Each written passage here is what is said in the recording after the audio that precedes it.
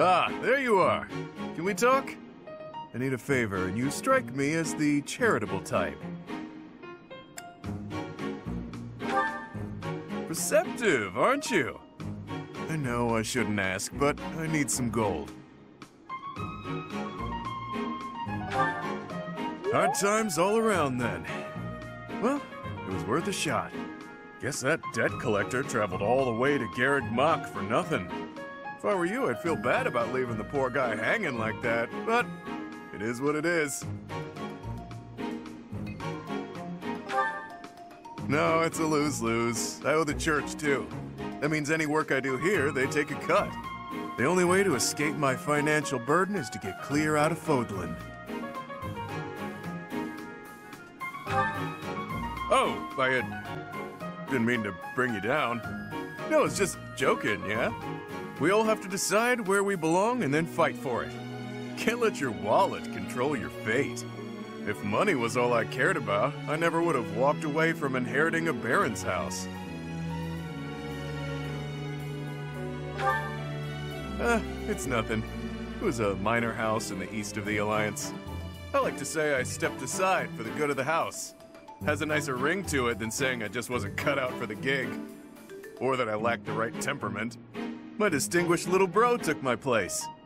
Fact is, he's a much better man for the job.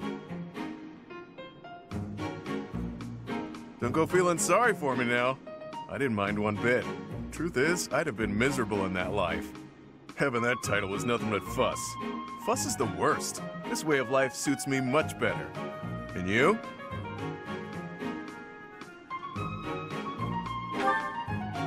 You showing up at Garreg Mach was a coincidence wrapped in happenstance. Your pops was a renowned mercenary leader. It can be safely assumed you'll follow in his footsteps. Don't you ever feel like that life was decided for you?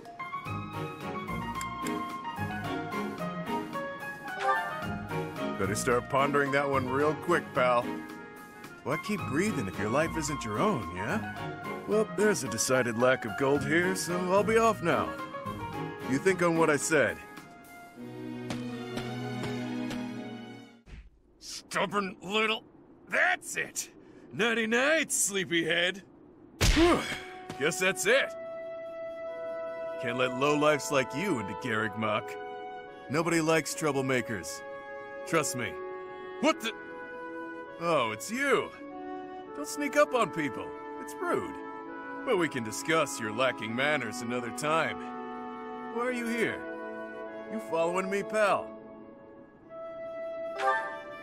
Guess I can't fault you for that, since you seem to have been mopping up enemies without me knowing it.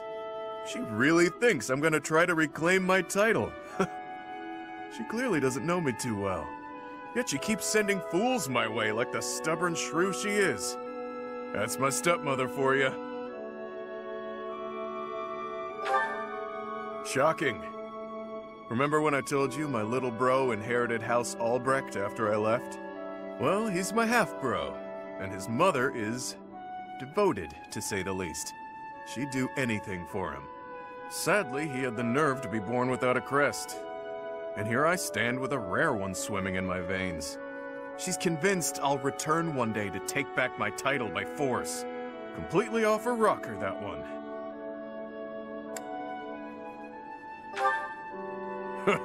if only that were humanly possible.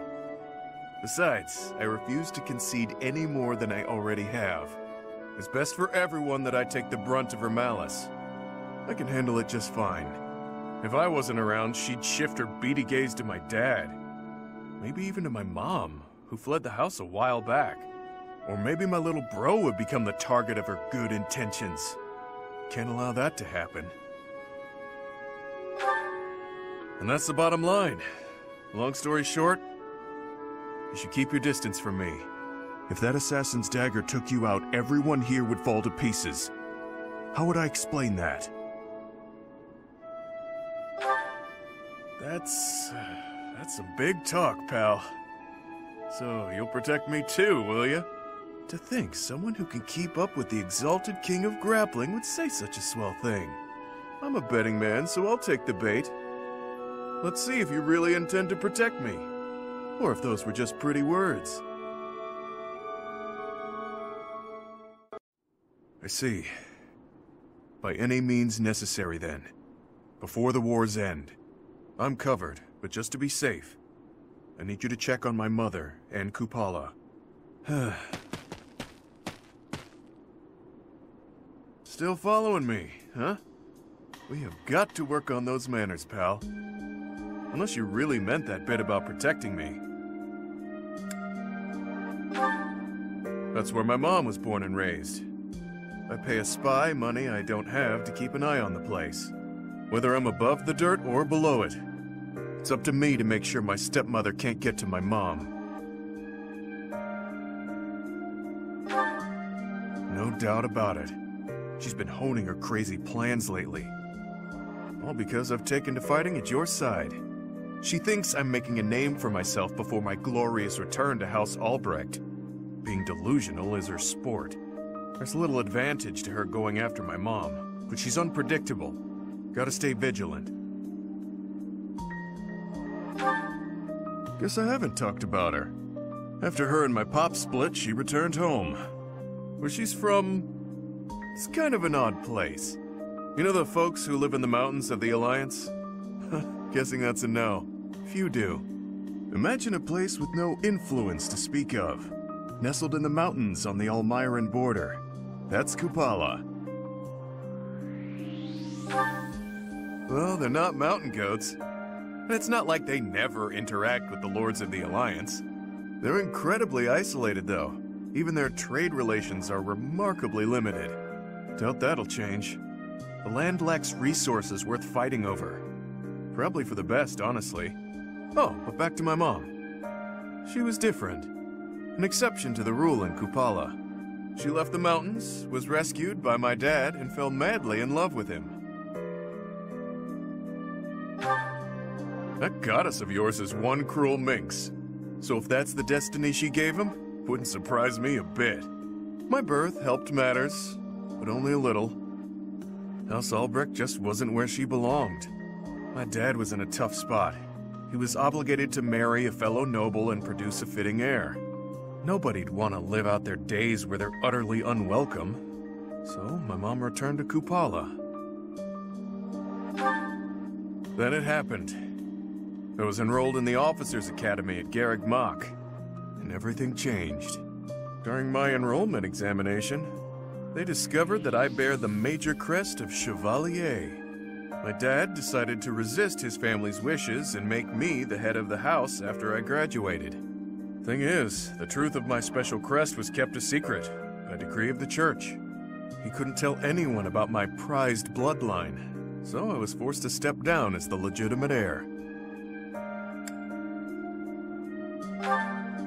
It was for the best. My crest was inherited from mountain folk who prefer to keep to themselves. Imagine what would happen to Kupala if it got out. We both know it would destroy their way of life. Too true.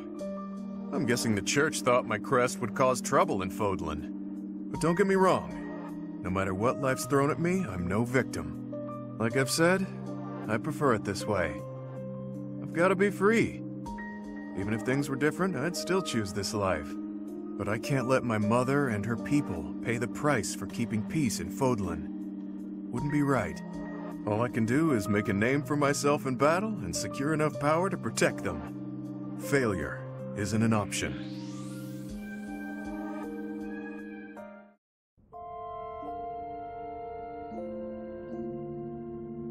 Hey, you! We need to talk. Now. You did it for me, didn't you? Without even taking credit for it. Admit it, pal. You asked the king to protect the people of Kupala.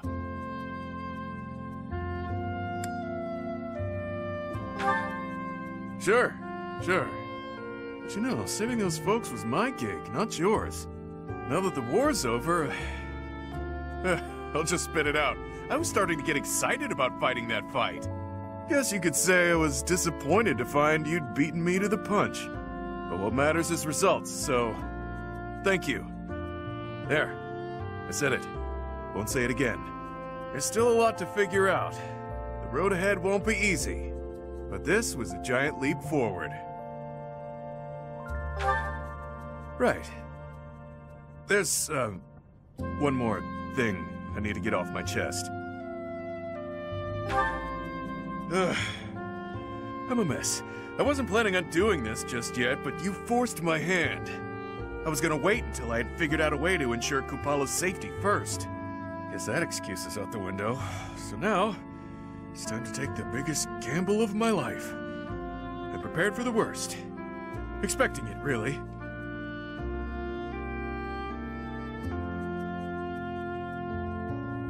You, uh, uh, I, uh, marry me, pal! Look, I know it's a big ask. I'm beefy, but that aside, I'm not the most eligible bachelor on the block. But I promise to become better. Not so selfish and careless. I want to support you, make you happy. The life I live makes me comfortable, but... Comfort be damned! I need you by my side. Always. If I'm not good enough now, just give me time. A year, maybe. Two years. Five tops.